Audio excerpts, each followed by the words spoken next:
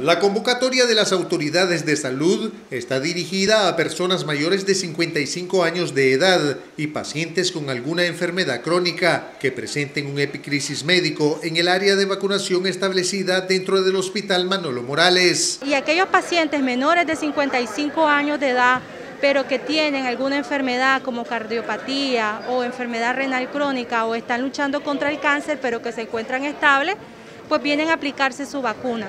¿Por qué es tan importante que todos nos vacunemos? Ah, porque esta enfermedad es muy fea. Hay que prevenirla vacunándose.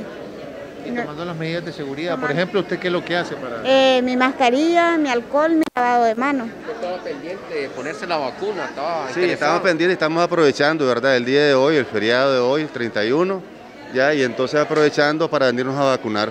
¿Cuándo viene por la segunda?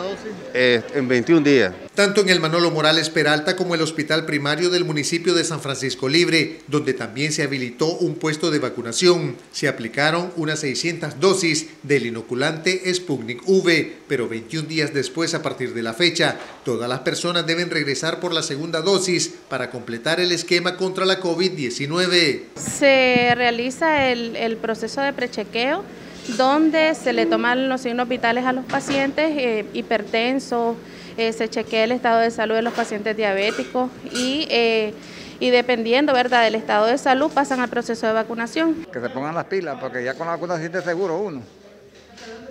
No, no, ahí no hay más que hacer, buscar la vacuna uno, que no busca la vacuna que no quiere vivir. Ustedes como habitantes de San Francisco ya estaban esperando ese llamado. Soy de comunidad de Las Lomas, de San Francisco Libre. Le digo pues, a, todos mis vecinos que el que no ha tenido que se venga a poner. Las brigadas que atienden en todos los puntos de vacunación están compuestas por 23 personas, entre enfermeras, auxiliares y personal administrativo, quienes garantizan que el proceso de vacunación sea efectivo. Con imágenes de Benjamín Espinosa les informó en TV Noticias Román Rodríguez.